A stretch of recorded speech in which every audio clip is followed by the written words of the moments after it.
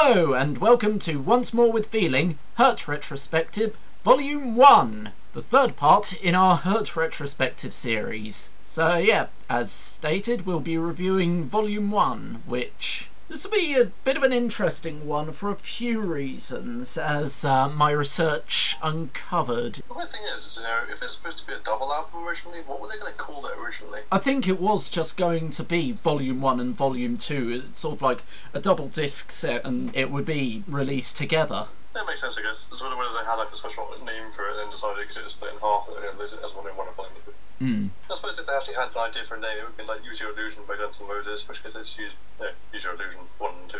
Mm. So, I mean, what's interesting about that side of things is the fact that uh, Capitol Records thought it would be too much of an investment. which is just stupid reasoning, in my opinion. Yeah. I mean, I Wasn't, it, wasn't this the first album they got a proper label for? Mm. So starting, uh, starting out as like the first major release being a double album. Wasn't it a little bit too enthusiastic, but I don't know. I, I don't know. I mean, I can understand the logic behind it because if it's the first major album, then you're going to want to stagger things a bit because, well, for one thing, if it's a double album, you've got to reduce the cost of the total. Yeah, they aren't really constantly the same as two albums, other people won't be interested, particularly as a band they haven't really heard anything about before. Yeah. Um, it is a bit strange, but um, there are upsides to them having it as two albums instead of just a double album, in that they actually took the time to improve on what was already on Volume 1. Yeah, that's true. I mean, in kind of case of if they had trying to write two albums of the material at once, probably you're going to get things lost in the process. Yeah. But between the two shows, I know the second one's coming out later on. You can focus on making the first one better, Mm. and then you have time after that one's released to uh, then focus on the second one. Yeah. Um, interestingly enough, it does feature a couple of songs from the previous two albums, which we'll go into, but I definitely think that these versions of those songs are much better. That uh, as well. Mm. The new version of uh, "Dirty" or one of the songs is actually really improved. I think. Mm. So. Well, Dirty wasn't on a previous album, I don't think. Wasn't? No. Um, of, it's I think of one kind. Uh, hold on a second. yeah. It's Unkind and Cold Inside that are the two. Hmm. It's cool. So I, was, thinking of unkind. For some reason, I thought dirty in my head. I don't know why. Yeah. So, Any- that was a mistake for the week. Uh, anyway, it's there definitely feels like a theme to this album. Hmm. It seems a lot more cohesive compared to the, the first two. Yeah, There's the same kind of style to it and structure and kind of well, yeah, thematic lyrical content as well. yeah. I mean, it's all the wiki page I'm reading um, says about how the album contains many tracks that are very dark in nature and explain such suggestions as twisted logic from over obsession in religion in Rapture, pain from love in both Falls Apart and Unkind, and drug, drug addiction in Overdose. Especially it's all about overdosing on things, I guess. Or Yeah. just having too much or something. Hmm. Uh, too much of something good is still too much. So yeah. Um, not saying drugs are a good thing, but you know what I mean. yeah. Um, that's essentially the overview stuff that we can discuss. Um, so track one, Shallow. I think, I mean, uh, I think it was the previous album, Mhm. actually Consummation. I feel like it's the first song on that album didn't really catch my attention that much. Mm. This actually, I think, is a good opener. Yeah, I mean, for me, it it feels like they're experimenting a lot in sort of style and sound. Um, musically, it does slightly remind me of Creed. Um, Yeah, I guess I can hear that. um, mainly songs like Bullets. I, don't know much about Creed, but I have some experience with them, and from what I know, the various songs here and there. I name them, but I know I've heard them across the time I've listened to music. Yeah, But it's just the same kind of same kind of style. yeah. But I think the problem I do have with this album is, as with the previous albums, certain songs have reminded me a lot of other artists. Yeah. Um, Some of them just they they quite a lot of moments, you know, doing their own thing, kind of stands out, but they do still have these songs here and there mm, that you know makes you think, "Oh, I listen to a different band. yeah. Um, Not necessarily a bad thing, but uh, I mean, this is an opener. It feels very appropriate because it sounds big. No, it starts out very kind of like uh, you into self uh, fixed security. Then Mm. like all the guitars then come in. Yeah, yeah, and also it's got the orchestral backing, which really drives it forward. mm, that's a nice touch. I just wonder how they actually recorded that like live or used some kind of synth or something for it. Um, well, the thing Obviously, is, you know that the lead singer can like play violin. I think it was. yeah, it? it's violin. So maybe it'll be him that's doing that. Mm. I mean, they could have easily brought brought in an actual orchestra for that bit. I don't know. I can't. Possibly, uh, I mean, it doesn't actually say anything where that's concerned, but that doesn't actually mean anything in the grand scheme of things. no, there's there's not any information on it. Mm. So, I mean, they they had an extra bassist for this one, so that's one thing. no, but yeah, it it feels big and definitely grabs your attention. Sort of like this is an album you need to listen to. I know what it reminds me of.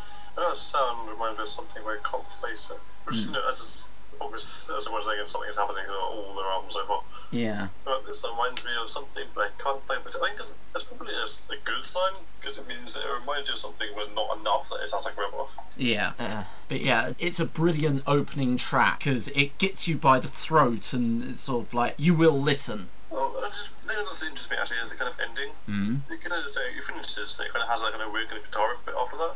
Yeah, It kind of.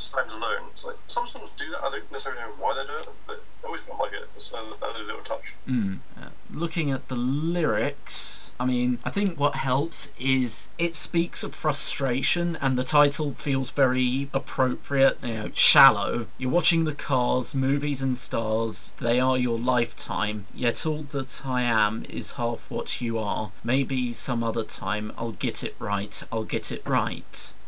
Oh, sweet voice on the phone, you sound so alone, 'cause you couldn't be wasted. Yet all I ever was, to you I am less than a man. Yeah, it's just like he's not really happy with the way things are going, and he wants himself to be stronger. Hmm, He can't quite make it. yeah. And, well, it, it could be So the too. kind of theme you've had before makes does fit into the kind of what I'd expect. With that. Hmm. Oh, it could be talking to himself, it could be talking to another person.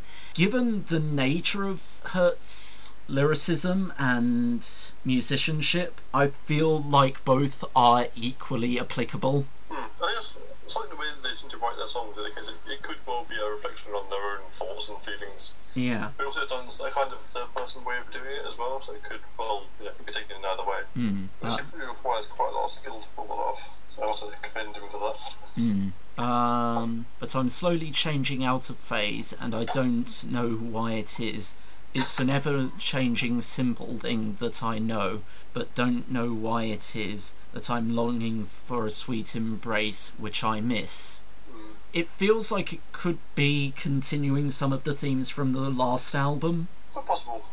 I mean, it's not unlike bands to do that kind of thing. They kind of they touch on certain subjects in certain albums and they bring it back later on in different albums. Yeah. But like necessarily a whole concept out of the style structure, but they still kind of touch upon the same kind of themes. They possibly get like sequel songs.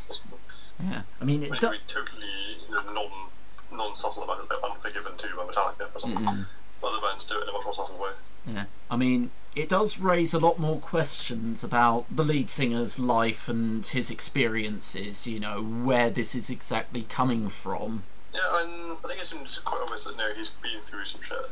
Yeah, But the question is, no one really knows exactly what. It seems obvious that you know he's drawing from this experiences Mm. when he's writing his songs. yeah, He's there doing a very good job of you know showing that kind of stuff off without actually having an experience. Mm. That's unlikely, I think. yeah. Um, next song, which I swear it does sort of slightly flow from one to the other. Well, they did the kind of thing a lot in um, the first album, so kind of title, didn't they? Yeah, So, uh, yeah, there's a bunch of songs kind of link together. But also they did it in Consummation as well, actually. So yeah. Um, Rapture, which is quite obviously sort of a religious objection. Um, the bass line starts out with. yeah. Um, Because I think bass is quite often unused in music. You don't really get to hear it that much. But sometimes you get some bass lines that stand out. It's like, yeah, that's good. Mm. Uh, Rapture. Um, now, when it, how it starts out, it's it does remind me of Disturbed a little. I think that the vocals at the start especially do, actually. Um, So, last time actually, the Disturbed's vocals are not exactly the kind of thing you replicate. But Yeah. the intro vocals in this song make me think a lot of that. mm. um, but its progression makes it able to form its own identity. Really, um, it's not so much. It it's they're sort of like well, we want to show our influences, but we want to show that we're able to break out from there. Mm, doesn't very much like, oh, we, we know what our influences are, we know what we like, we know the kind of sound we want to go for, but we're going to take those elements and craft something new with it. Yeah. Um, it does go into the sort of vicious, frustrated, explosive tirade that is common of disturbed music, but it's got its own identity and personal recognition. Right. So, I, I mean, you can point to literally any band, and you'll probably find something that's anti-religious. I'm not bad to touch on the subject, especially in kind of hard rock and metal areas. Uh, the video for the song is really cool. mhm. Video for the song is really cool. I still need to watch the video. It's also done in weird kind of animated papercraft style. It's really awesome. Wait, is it the one with all the sort of shadowy figures that are sort of elongated Yeah, the one. creatures? Yeah. Oh, I have Yeah. seen that video. I watched it a while ago. It's actually a really nice video. Hmm. Yeah, It's it's kind of like oh, I'm trying to think of how to describe it. It's it's like sort of um shadow puppets. Yeah, that's a good description, I think. Cause it, actually, it does remind me quite a bit of uh, Coraline as well. Actually, Hmm. the, the kind of character, I mean, the main character especially, the, the kind of elongated facial structure he has. Basically, think of the um, the father in Coraline. Mhm. I love that film, so really well like it so much. Mhm. This is the first time I actually talked about videos and uh, video and uh, well, videos, I guess. Mm.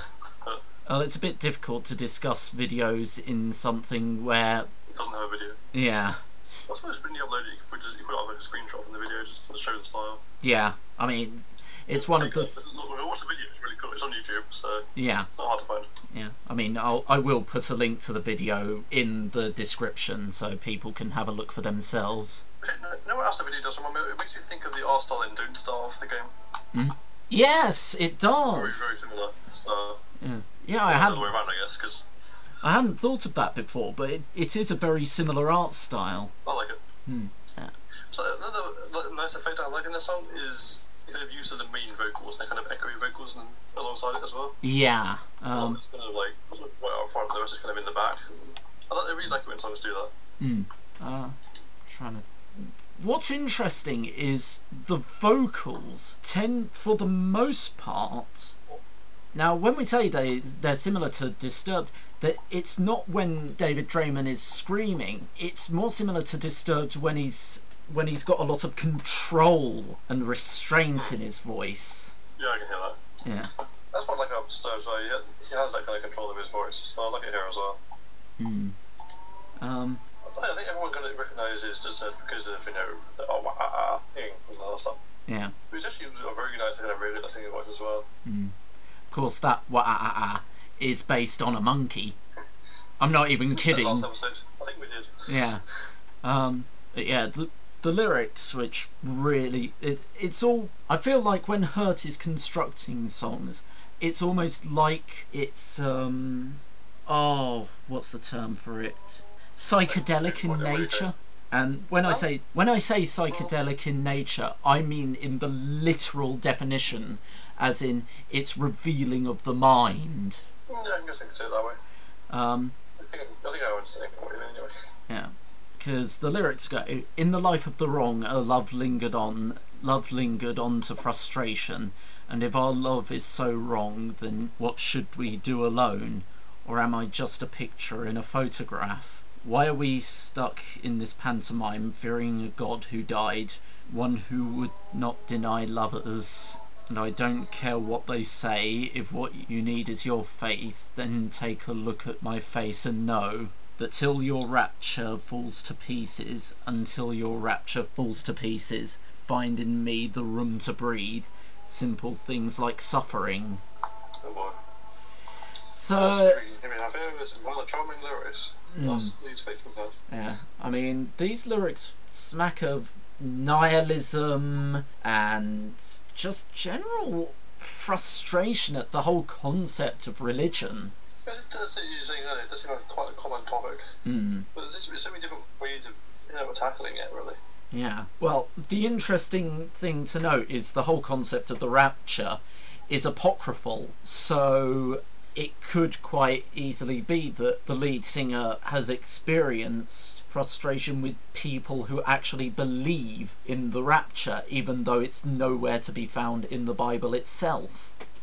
Just think, I think a lot of people think, oh, it's in the Bible, then they realise actually it's in one of the like except texts, or whatever. It's actually in the main book itself. Yeah. Um, it, because Apocrypha is actually really interesting. Yeah. Um, but yeah, interesting lyrics and sound. It's one of those cases of one thing that I noted throughout this album is. I mean, I know you said some songs stuck with you more than others, so we will go to that and judging each song. think that's just a thing that you get with almost any album, really. Yeah. For me personally, there isn't really a weak song. Hmm. I mean, I think couple of songs on both Consummation and Subtitle which I didn't get on particularly well, but this thing seems, I said, not only is it more coherent structurally and style-wise, but also more coherent quality-wise as well. Yeah. I mean, I Um, don't think there's anything that quite stands out as much as something like, say, Abusive Sid or Consummation title track, for example. yeah. The other hand, the lower end stuff is better. So Yeah. Uh, next song, Overdose. I really like this song. So, yeah. Yeah, for me, I, I'm undecided whether this is my favourite track or my second favourite on the album. It could well be up there for me as well. I mean, I think, I think the opening part especially kind of sums up what I think about it. The kind of rhythmic vocal use is really, really interesting. Yeah, Let me say something about the, the ticking of time. yeah. I mean, what makes it really work is it's very experimental in sound. Hmm. Um, Other than anything else in the album, I'd say, actually. Yeah, because it's got sort of aspects of new metal, aspects of prog rock, of bits of classical backing here and there, and there's this build and build over the course of the song, which kind of it emphasizes the idea of apocalyptic weight, and Especially combined with you know, the idea of overdosing is that someone's getting closer and closer to going beyond the time when they can come back from it. Yeah, and the the build up really helps to emphasize the whole concept of when he finally you know there's that one bit where he the lyrics are just angry tirade Hmm. and But also, I pretty much every single video we've done so far that has a song like this, I really like songs that build up like this. yeah It's just, it's my kind of thing. And this is a good example of it, once again. yeah and um, after that and the thing is that angry tirade feels like a frustration and anger at someone who's succumbed to addiction. And it feels like nearing the end there's sort of this breathing backing. And that breathing it feels like it's sort of him trying to calm himself down. Well, I think it's either that or possibility of the fact that he was getting more and more angry as this person collapse and like fall into the pit that they're falling into. Mm. Maybe the breathing at the end is just you know, symbolising the fact that they've gone too far, they've actually overdosed and died because of it. And Mm, they're just thinking, oh crap, I can do anything. It's over. yeah Why didn't I do anything? That's my take on it anyway. yeah I, I think both takes have validity um uh, the lyrics uh, i'll take one cause i needed to feel it so much i had an emotional crutch but i'm feeling bored so i'll take some more because nothing is happening. And once you told me you loved me so much i foolishly began to trust but now i'm ignored and i'm taking more till something is happening. Well, this might actually be arguably one of the most depressing songs in the album yes. Combined with the kind of, his vocals get more and more desperate towards the end as well. yeah. It starts out kind of relatively kind of nonchalant, I guess, a little bit, mm. and then gets angry, and then it's like, uh, oh god, no. Mm. Uh, Morpheus, how could you leave me when I had need of your love? Stop holding back. Give me one reason to think you're decent. When I am alone, don't you ever try to bring me back. Mm. I mean, it, Yeah, I think the amount of power the song actually has, especially when you kind of put it in build up at the end, is just, Mm. yeah, it really stands out. yeah. Um, it's just as you say, it gets more desperate as it progresses, and it really paints the whole idea of someone who's going through addiction and whatever's happening in their life, they're turning to the addiction to make it easier to cope. Mm. But addiction is never an easy topic to deal with, so Mm. I think it's very much, does a good job of portraying the kind of, well, potential suffering of someone going through it. Yeah. Um, It's just not an easy thing to pull off. Once again, I would uh, say commendate, commendate the actual vocalist for doing such a good job. yeah. It, for me, it's one of those songs that definitely, after listening to, you do have to take a minute just to, you know, let things settle. Especially if you're in a kind of case of, you know, you're not doing something else at the same time, you're just focusing on the song itself. Yeah. I think uh, because earlier I was going through it thinking just, I just sit here and say I'll listen to this properly. Yeah. So yeah, that's true or something. Mm. Um, the other thing is, um, I'm just thinking, the very last few notes, there's sort of a strange final collapse of instrumentation. Just kind of just fall apart. Just- Well, that way intentional. Ah. I think Well- it's kind of his, his kind of ideals and I was collapsing. Yeah. Well, it's it's kind of it's kind of like a you know when a tape would get chewed up by the machine and how the sound would go all screwy during that. It's almost like that. I anyone's here too young to remember himself.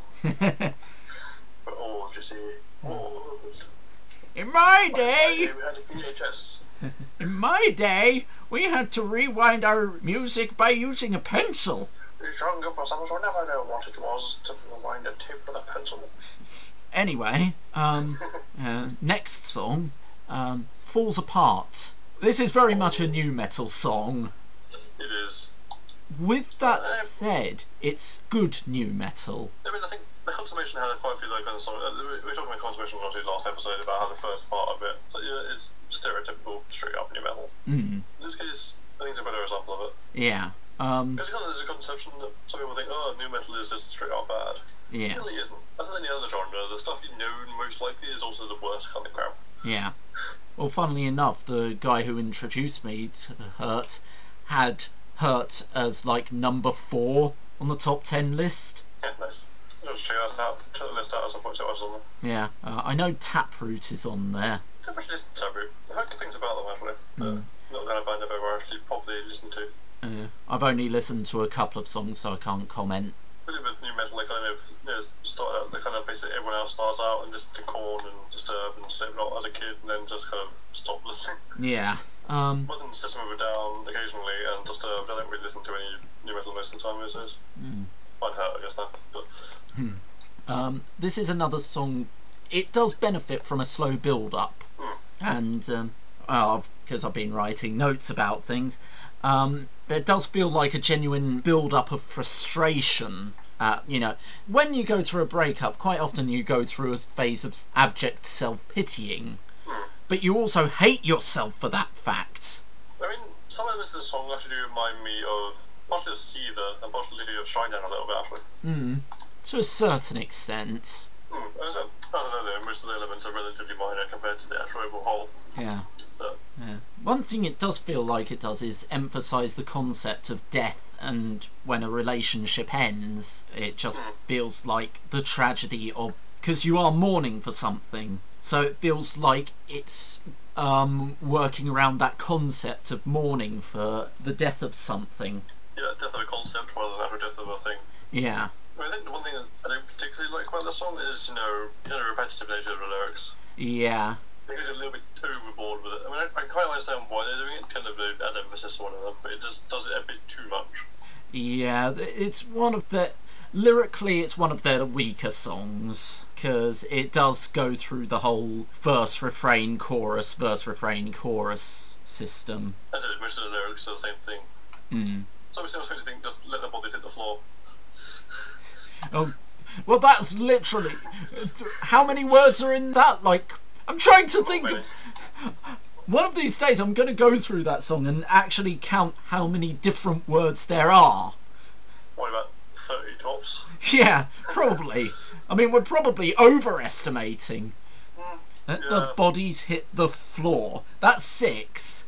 And that's repeated like a dozen times. Probably more. There's just nothing wrong with me. One, nothing wrong with me. Two, uh, Yeah. there's not really much else to add. Welcome to the retrospective on drowning pool. No, not doing that. I'm just saying that this song seems to have a very sudden end to it as well. Hmm. Probably has some certain meaning to it. Maybe it's just, you know, signalising just going, oh god, why? Yeah. It's over. Uh, I messed up again when I tried. You spend all your money, then die.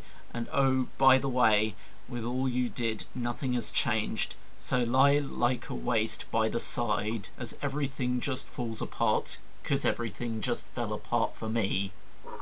Reading the lyrics, it's, uh, it actually makes a lot of sense that it follows on from Overdose, thinking about it. Which is kind of sad in the same way, because Overdose is genuinely really good, and this just seems a bit lackluster. Hmm. It could have been so much more. Yeah. I mean, it's an okay song. It's not like um, some of the songs on On uh, Consummation. probably kind of that introduction Mm, yeah. Um. I guess every band has their ups and downs. Mm. Uh, go to the next song. Uh, Forever. Bits of this, bits of it remind me of Korn, Yeah, I think it's kind of there's a certain guitar tone. but it's kind of like if Korn was given the anger of Fear Factory. A little bit. I can hear the kind of more industrial side of things with the guitaring as well. Also, it's the structure. kind of the weird kind of higher pitched look vocals kind of weird me out there. Yeah. Well, the structure is very Fear Factory. Um, you know, the sort of how it goes from very blunt force trauma style vocals to a much more ethereal sounding style. Kind of a little bit Nine Nails as well. Yeah. Um, also, the instrumentation is much. It goes from blunt force trauma, sort of very chunky guitaring and all that sort of thing. So much more fluid. It's almost like they're trying to drown you with the instrumentation. We're just getting kind of close to kind of wall of sound guitar style Mm. mm. some parts. It's kind Uh, of move from concentration very very smooth and very chunky. yeah. It's like having chicken soup. That analogy. We got the kind of you know, the pure uh, liquidy bits, and then you got the chunks of meat. It's, I guess. I didn't say my analogies had to make that much sense. Hmm. This one kind of does in a strange way. Um, Which one is? It's actually him doing all the vocals. as far as as far high pitched ones sound kind of different to his usual voice. I suppose he's trying something different, or maybe actually it's a different person. I don't know. Um, well, you've got two. You've got both Josh Ansley and Paul Spatola um, doing backing vocals, so that could have an Possibly, effect on it. Um, let's see. Um, the lyrics. I mean, this is one of the more difficult to penetrate songs in terms of lyricism. They always to have. Yeah. Um, not not so much oblique as much as it's very difficult to figure out the actual perspective of it. Um, the opening verse: "There is no safe place for me to hide. There's no safe place for me too tired. There is no safe place for me to hide. There's no safe place for me." Now, the whole "there is no safe place." It's almost like it almost becomes a mantra. Yeah, yeah, I can see that. Yeah. It's, just repeating it over itself, kind of same kind of. I think I like prior, which was just matter is, but Hmm. yeah, it's an odd one. I suppose one more towards their experimental side again. Yeah. Something I like them doing. So at least they experiment a couple of songs every album. That's something I can appreciate. Yeah. I mean, part of the sort of breakdown for it, um, forever won't you lend me your sins against you? For everything I understand, one thousand more won't comprehend. Forever, it always hurts when it's someone you love. Won't you rise, rise above? Forever, it always hurts when it's someone you love. Won't you rise, rise above? There's a price in blood. This again, we get to seemingly sort of anti-religious sentiments and that sort of thing. Well, well, it's linked to the uh, the mantra kind of style, so Yeah, it's, it's intentional. mm. it's again the lyrics are difficult to pin down. It there's clearly a cohesive narrative to this one. It's just it's a bit difficult to work out the exact intentions of them. It's gone from the kind of like denim, where it's like, oh, well, I have no idea what's going on here. Mm. To being more kind of, yeah, there is a structure, it does make sense, it's just that it's not going to be entirely straightforward. Yeah. I'm fine with things not being straightforward because it again, it's songs that get you to think about what they're saying. Mm, It's a good way to go. Hmm. Yeah, I really like a some of, I think like a lot of mainstream music, is, the, the lyrics are very, very simplistic. Yeah. I mean, as I was saying about um, Drowning Pool and how repetitive their lyrics are. It's like they just do a! I, I swear all they did for half their songs was just copy and paste the first few lyrics. I, I swear that's all. Other than bodies, so I can't really comment on that. I, I've heard a few of their songs, and yeah, it's pretty much the same situation throughout. Wow. Yeah, they are not. They're not good with words. but anyway, as I say, the repeated lines don't feel. It doesn't feel repetitive, if that makes sense. Yeah, it does. I sometimes do that. Hmm. It's a case of, I think it's the way it's done. You know, sometimes you know it's done in a way that just feels right. and Other times it does it over the top, and it's just ugh. Hmm. For example, you know, song. But let's do it together, definitely. Hmm. One doesn't do it right, and one it does. Uh, next song, Losing. This is a song I like quite a lot. Hmm. I think what's most remarkable is how it feels like it interchanges frequently between sort of slow build up and explosive full force instrumentals and lyrics. Hmm. They kind of had it switching up on things earlier with Overdose, so Yeah. This is done a bit differently here. It's it's done in a kind of quite a different way, despite having a similar kind of structure to it. Yeah. Well, it's kind of like um, you know those games where it's sort of like you'll be trying to get up a very steep incline, and then suddenly it will dip down, and it'll be very Yeah. easy going downwards. It kind of feels like that sort of progression. Mm, I can see that. I quite like it. Yeah, it's not bad progression. It really works because, um, again, this is one of the times when they go into their more anguish and frustration over the loss of a relationship, a breakdown of things, and it Yeah. when you're going through that situation, it does feel like that. So it really feels effective. It's really like, interesting of, I don't know, like, not only is it kind of, got the build-ups and you've got the, uh, of crescendos, Mhm. but it also kind of works the same way the uh, vocals are done. Yeah, Uh, you know, it kind of has that kind of sh- sharp, snappy lyrics to the chorus where it kind of drags out the uh, sounds. Mm. And as with uh, Overdose again, it kind of has that kind of rhythmic feel within the actual instrumentals and the vocals. They got the refrain, which I really like in the song. Mm. Very short, but it's really nice. Yeah. That's one thing I've noticed though. On this album, uh, there's not really a short, short song. No, it's relatively equal across the board. Yeah. There's no, there's no instrumentals either, which is weird. Yeah, the only real instrumental isn't really an instrumental per se. Yeah, I mean, like the last couple of albums, I had their interludes, Yeah. what's the openings and the endings, that kind of stuff. Yeah. But we'll get to that when we. I mean, that's quite a way down the line. Um, Yeah. uh, lyrics for losing.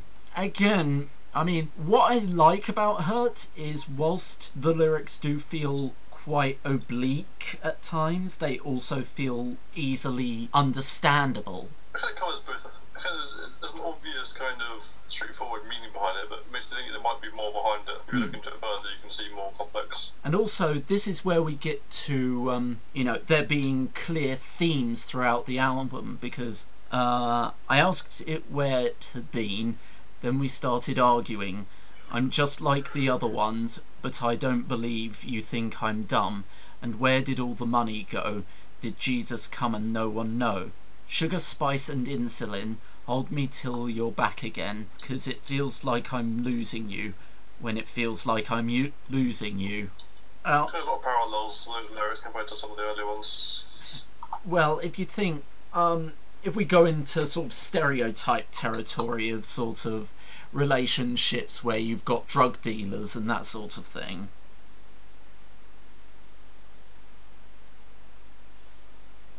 Um, it does feel like, you know, the sort of, you know, where's the heroin? That sort of argument suddenly blowing up.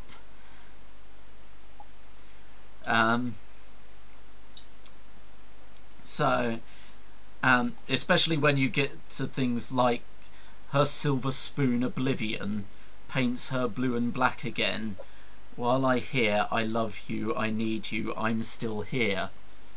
Now, if you know about drug paraphernalia, then you shouldn't. And Silver Spoon is kind of. Well, considering that entire line there very much you know, straight up states the whole concept of you know, losing the wonder drugs. Yeah. So, as I say, there feels like definite themes here. So, it feels like it's not so much losing someone in a relationship to, you know, not losing them because you've been abusive or it there's no romance anymore or anything like that. It's he's physically losing them to the drugs. Yeah, because if he's saying addicted to drugs, I'm here for you. I'll, I'll take your burdens. And they're like, I don't know, check myself on the paragraph. I mean, So I was still trying and fighting and pushing in vain, and all you did just to stop it would add to its strength, because a juggernaut will not stop even with you in the way. Like a drugs to me. Yeah, uh, it, it definitely feels like there. It's sort of there's continuing themes throughout the album that sort of run parallel to each other. You know, it'd be interesting to do a sort of experiment where you'd listen to each song that felt like they had connecting narratives. There's even quite a few of them across the discography. So Yeah. Even just the ones who've covered so far. Mm. Yeah, there's always like concepts within with it. With with these like little individual concepts within an album that isn't the concept album. Yeah. I mean, that's probably why it wouldn't be classified as a concept album because there's several concepts that layer on top of each other. Hmm, It's like a kind of little snippet in. I suppose it allows them to tell kind of little mini episodes without interrogating the whole album to a certain topic. Yeah. Uh, Free to do what they want. Mm. The next song. This is where we get into interesting territory, because, as we said before, repeated songs. The next song is Unkind. And obviously, there's no point. one. Hmm? Same one kind from uh, It's you know, it's the opening track of their self-titled album, and um, the interesting thing about this is, whilst lyrically they've not really done that much because. I mean, it's slightly longer. It's like 30 seconds longer, little less than that. So there's a bit more instrumentation, but lyrically it's pretty much identical. hmm, pretty much the same song. Yeah. But they change things up here and there. Yeah. I mean, for example, the opening. Now, the opening of the original was this sort of crackly, static, sort of whispered vocals. This opening is. this case, it's just straight into it. Yeah. Well, this case, there's sort of. Um, it's much more. The opening is just instrumentals. Yeah. Um, introduction chunk before it goes into the vocals. Yeah, and it's a much more downplayed opening that it explodes. As kicks in, so he's like, "This song is in your ears." Hmm. Um, as I say, there's not really much to discuss other than it's it's like they took the original and basically said, okay, structurally this is fine, but the sound quality needs to be improved. We want to rearrange certain parts so that because it kind of sounds like the original opening becomes the ending of this version. I thought they kind of maybe extended it a little bit as well. Yeah. I they kind of just looked back and thought, okay, this is a pretty good song. We did a pretty good job with it. But let's just, you know, beef it up a little bit. Mm. Maybe just thought it was one of those songs and stuff like that. You know, since it was so rare to actually get a copy of it, Yeah. you thought, okay, people need to hear this better. Mm. So, you know, re-release it again, touch it up a bit, and on the new album, especially getting a bigger audience, hopefully. Yeah. Um. So that's that for that one. Danse Russe or Russe. I'm not sure how to pronounce it. Dancers, I guess, I don't know. It's German. We've already discussed how I sometimes have difficulty with German words. It's the first time they've used German anyway. So, Well, they spoke in German the last album, but they didn't title anything with German. no. There was any particular connection to German. Hmm. I don't know what you know. The guy doesn't have a wiki page or anything, so I don't. I can't look up what his parents were or anything like that. It's basically a case of when you try to look up his wiki, it directs you back to Hurt's. Fans. Yeah. It doesn't have enough attention or enough information to actually build a it. Yeah. But yeah. Put simply, I cannot for the life of me figure out how to describe this song. It's. Actually kind of reminds me a little bit of um, Abusive Sid in places, actually. I think kind of, kind of waves sound to it. It's odd. I mean, it's got sort of elements of various genres, of bits of country rock, bits of nu metal, bits of classical, all that sort of thing. And it's all blended in a very intriguing way, but it's it's very difficult to actually pin down. I mean, it's there definitely is no one genre that this song would fall into. It is strange, well, they mix, they managed to mix the genres together rather nicely. Yeah. Uh, impressed with what they've done there. Again, it feels like um, they they were experimenting in sort of how close to the wire they could go within self-imposed restraints, both musically and vocally. Hmm. Because um, for the most part, it's it's sort of this very very pulled back style of It's vocal. kind of very deep, kind of. Yeah, and vocally, it's very restrained, but for for like an imperceptible amount of time, it's like two or three seconds, there's suddenly this explosion. Hmm. And it's sort of like, wait, where the fuck did that come from? I mean, I actually really, really like the sound of the chorus in the song. Yeah. Um, Cause the kind of guitar work there and the vocals just that it flows really nicely. yeah. Uh, the chorus being, hold on to me, please. Don't you let go of me. Come on over, roll on over. I just need to feel you breathe. Oh, Jesus, it's continuing a theme. There's a tiny dancer in my bed, and she never has too much to say. She reminds me of the dance russe when my emotions are wounded. Her motions and movements chase the ghosts from me. I'm just going to look up what actually dance russe means. I mean, obviously, What dance? I mean, yeah, it's another. It uses the word dance in English in quite a few films. Yeah. What do you want to means?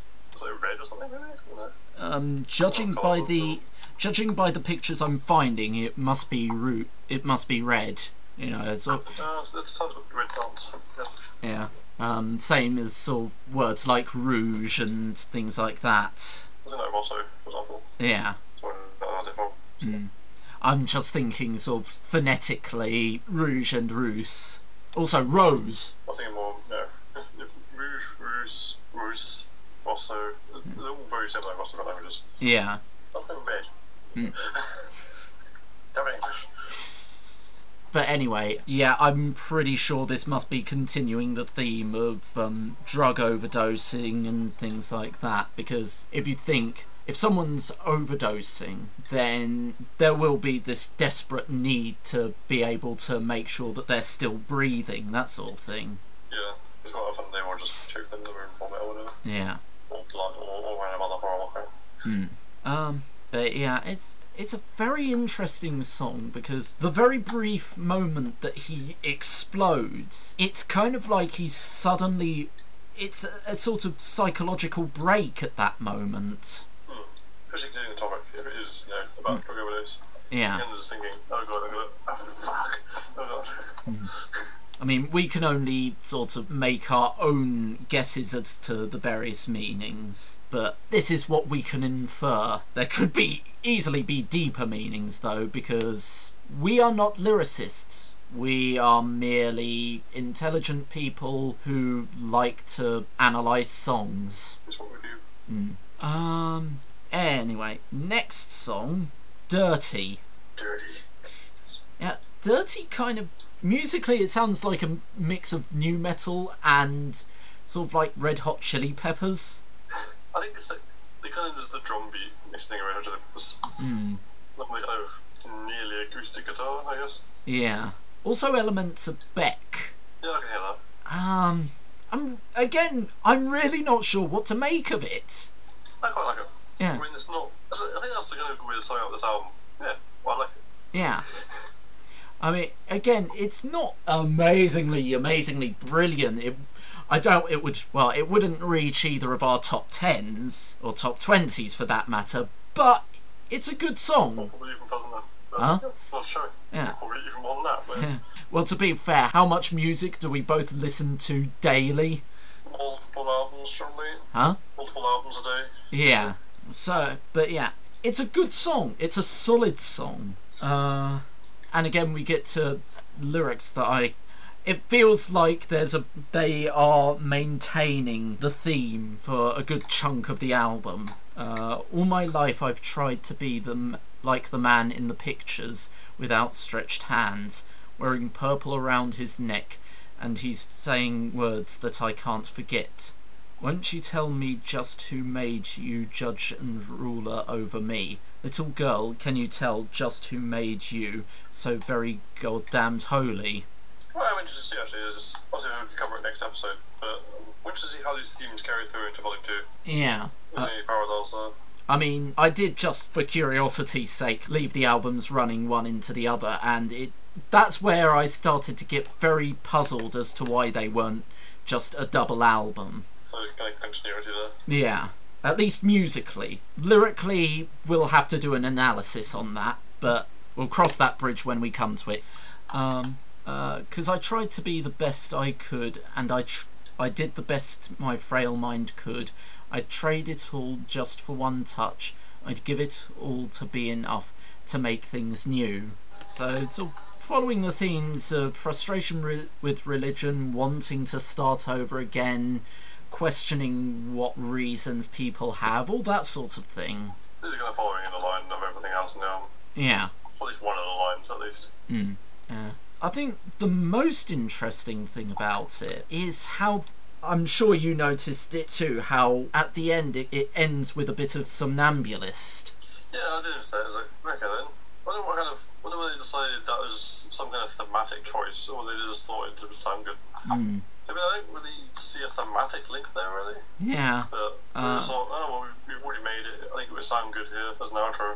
Yeah. But through Somnambulist, it connects it directly to the next song. Again, carryover. That's why I did in the first place. Uh, which wasn't the original album, was it connected to the next song. Yeah. So, Which, in this case, Cold Inside has been repeated on this album, but it sounds far more interesting than it did on Consummation. yeah, because we had it there, we were like, mm, it's kind of dull. Yeah. In this case, they're going to get a proper makeover. Mm. I mean, I think what really helps in this case is the addition of things like violins and echo effects, making it sound. Originally, it was so stripped back. Yeah, it makes it sound far more haunted than it originally does. Right, it kind of seemed maybe in the original one they wanted you know, to be cold inside, they wanted it to be empty and desolate. Yeah, It just didn't quite bring the right kind of feel to it. yeah. I mean, it actually, ironically, with having more in it, it actually sounds more cold. Mm. I think it's the kind of thing I just tried, you know, just do it so minimalist before. I thought, mm, okay, it didn't quite work out as it planned. Yeah. Um, I thought, there's, a good base here for a song, but it didn't quite reach what we wanted, so let's re-record it, let's add a few bits in there to make it actually kind of into its full potential. mm. I mean, it's still not exactly that great, in my opinion, but it's definitely an improvement over the conservation mode. I, I'd say now we we said about how if we were listening to the consummation, we'd probably both skip Cold Inside. I would agree there. Yeah. On think generally skip songs now, but sometimes I just can't be bothered. On volume one, I wouldn't necessarily skip it simply because it does actually feel more thematically appropriate in this case. It doesn't fit better with the themes. I mean, I suppose it's true enough, actually, know, actually having an overall theme, it fits into that one originally, where it just wasn't an overarching theme. Yeah. So the whole album. the Um, stuff around it is much more interesting. Yeah.